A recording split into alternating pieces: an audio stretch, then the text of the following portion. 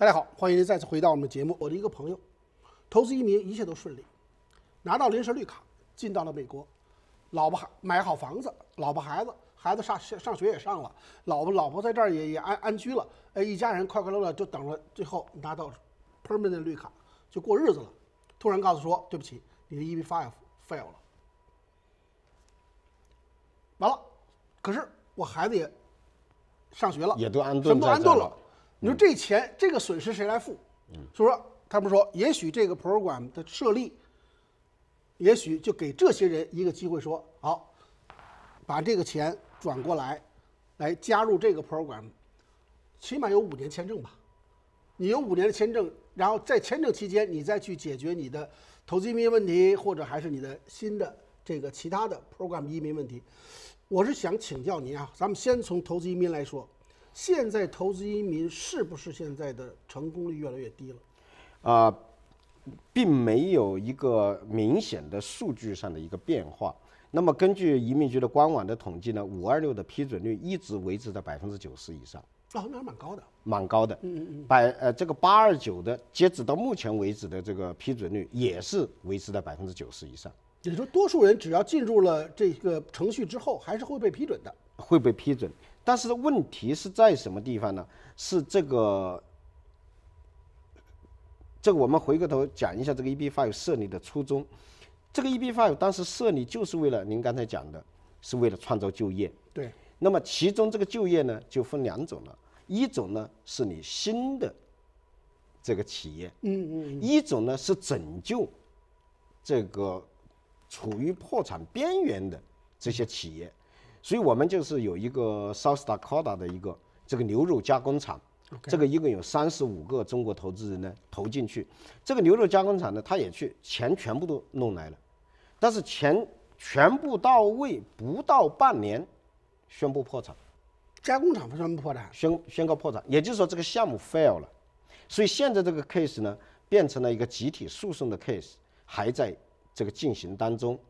那么这个中国的投资人就说你们是欺诈，对吧？那是啊，你们是你们都准备要投要要破产了，你还要我们钱干嘛？对，所以这里面呢就是说有很多的一些 issue 在里面，说你有 misrepresentation，对有 materially 这个这个这个这个 Misleading misleading 在这里面，这个东西呢都是很 arguable 的事情。是，因为争议啊。因为来讲，它本身这个企业是 in the stress，也就是说 financially stress，就是说非常的呃处于一个财政的困王律师，这里有这里。有一个关关键问题啊，王律师，在中国的投资者们认为，我移民美国，既然移民美国的移民法是联邦联邦法律，你现在提供给我的 EB Five 的这些所谓的创业、这个就业这些这些这些 EB Five 这些 program，认为是得到政府背书的。没有，这个是这中国是一个的一个极大的一个误解。对，我就发现很多的，在你任何一个大的城市，你看到那些这个这个移民中心或者中介们，他们大的广告是政府 program，Yeah 政府这个承诺的如何如何。但是这个问题就来了啊，现在当然他到了美国，他知道了，这 EB5 跟美国政府一点一毛钱关系都没有。没错，但是问题是这样，当你联邦政府的移民局，你承认这个 program，而且你让那些申请投资移民的人去投资这个 program，政府有没有连带责任？对了，您说的这个事情呢是非常好。那么其实呢也有诉这个联邦政府的诉 USCIS 的有一个案例，但是问题呢，我相信这个案例他赢不了。啊、他不是诉说是联邦政府这个这个立法，或者说已经变成了法律来 misleading 他，不是。他告的是什么呢？就是你不当的拒绝了我的这个 petition，但是他那个项目呢，是因为什么呢？是移民局说他是这个项目有 materially changed，也就是说有重大的改变。比如说你换项目了。啊，原来跟我申报的项目不一样，对，因为比如说，就像这个牛肉加工厂嘛，那么好了，我钱投到这个牛肉加工厂，这个 bankruptcy 了。那么，假如说这个钱能退回来一部分，或者是退给他了，当然是没有哈。那么，假如说退回来一一部分或者他投到另外一个项目里面去，能不能算是他继续 continue invest，、这个东西它中间时间是有差的、m a y b e not。第二个，他的身份不可以 automatically extend 到那里，所以呢，这个是非常的一个一个法律上的一个纠结的一个地方。就像您刚才讲的，in reality，从现实上来讲，人家拿了临时绿卡，也在这买了房子了，孩子也上学了，我们全家都安顿在这了，突然这个项目 fail 了，那我们这个临时绿卡变成是 deportable。对呀、不要说是可以说拿正式绿卡，而是在这里待下来都非法了。都非法了。那么，但是问题是什么呢？在这个移民局的这个立场上来讲，包括国会立法上来讲，他其中就讲得非常清楚，说你们的这个 investment 必须是 at risk，OK，就说一一定要有承担风险一定要承担风险的。但是我们又讲到现实，你如果说把这个项目的风险你告诉投资人，恐怕投资人一毛钱都不会投。所以这个项目的推展方，包括这个 South Dakota 的这个地方，你说他有欺诈吗？你也很难讲他是恶意蓄意去欺诈，他只是 try to save 这个 business，但是他缺钱，缺钱的时候银行是不会给再贷款的。那当然了，对吧？你已经是快资不抵债了，我银行再投钱进去，那岂不是打水漂吗？那么好了，他就包装成 EB five 项目，然后他的这个包装项目，他肯定要隐瞒，或者说他不经意的要回避他财政上陷入困顿的某些状况。他不可能完完全全就告诉你，你钱投进来肯定会打水漂，或者百分之九十会打水漂。那如果是这样的话，那谁会投呢？但是问题是这样，所以你说您，所以就是说，那个移民局的 argument 就是说，法律上讲的非常清楚，你这个钱必须是 at risk，我才会审核你这个项目，同时我才会审核你这个投资人的 at risk 的这张绿卡。但是这里面就有一个问题了，既然是 high risk 的话，那也有可能你拿到临时绿卡，你就是冒一个很大的风险，你拿不到正式绿卡。而这一点，移民局是无法给你 guarantee，说你有有了临时绿卡，两年以后，我一定会给你正式绿卡，没有，没有这个 guarantee。所以从这个角度上来说，中国投资人去诉联邦政府，no way，你很难能够打得赢了，你你这个官司就是很难的赢。而且而且还有一点，在这个推销 EB five 的项目过程当中，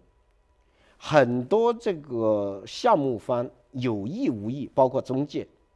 就是故意不 disclose 这个 risk，没错啊，因为他一 disclose 没有人投，那是。那么他故意不说，甚至就是像您刚才讲的说，哎，我有政府的 sponsorship，或者是有政府的 backup，而当地的一些政府，像这个 South Dakota 这个政府，包括他的 governor，跑到中国去，这个推销这个东西，还推销这个东西。他当时呢是叫做这个州政府有一个部门叫做这个呃旅游和州发展局，现在是叫做 governor 的经济呃经济发展办公室。那么他们的官员还为这个项目去站台，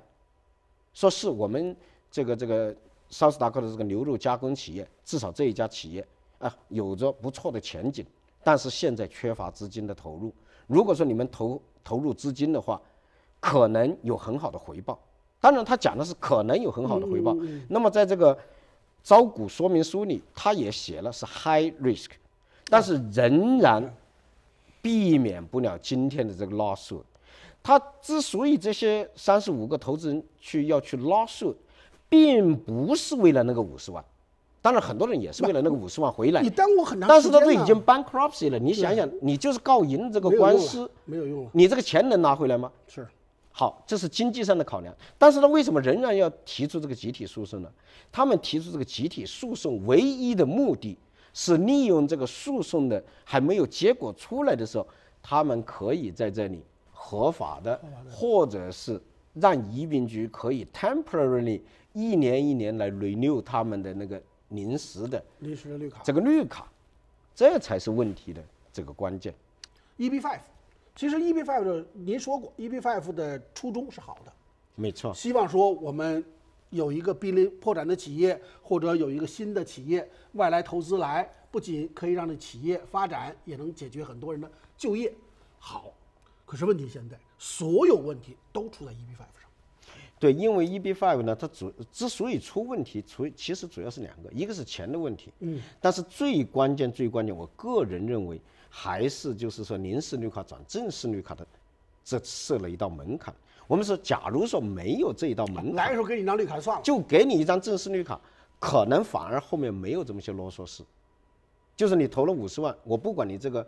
呃，成功没成功，反正你投入的钱是真实的，你的资金来源也合法，那我现在给你永久性的绿卡。至于说后面项目 fail 了，因为它不存在说两年之后他身份变黑的问题，那就没有这么多纠结。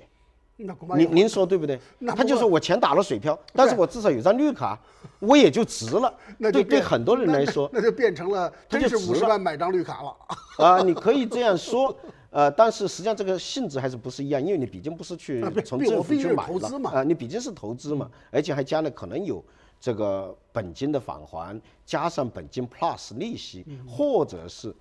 这个呃增值的返还。但是现在问题恰恰是